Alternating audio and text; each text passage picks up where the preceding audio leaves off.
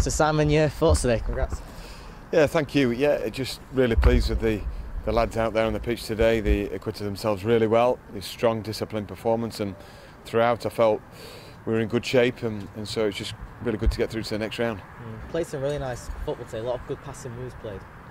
Yeah, well, we said before the game, you know, um, just don't want any excuses, you know, because people say, no, it, uh, from outside the club, oh, it's a bit bouncy there and, and bobbly and it's a windy day, but take the elements out of it if you can pass it five yards, ten yards, and have an extra touch if required. And thought the lads stayed comp- uh, composed throughout, and but really organised. So.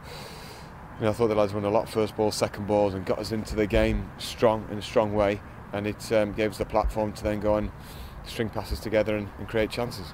A big game for Jack Diamond today, first goal for the club. What did you make of his performance? Yeah, I thought he was sensational. Yeah, um, at times, and you know, there's still still things in the game where you know I take a chance edge of the, our box, but I think going forwards is, you know, can be some player. You know, and uh, scored a really good goal on the back of a, a well worked goal. Um, a, a move and no, but uh, plays he's, he's got a good attitude and he has a really good go every week.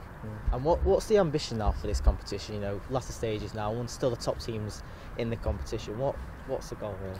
Well, it, we want to win every game, so if we do that in the trophy, you know, we, we want to go to Wembley and um, create a special memory for the you know for the club and for ourselves. You know, we want want to achieve.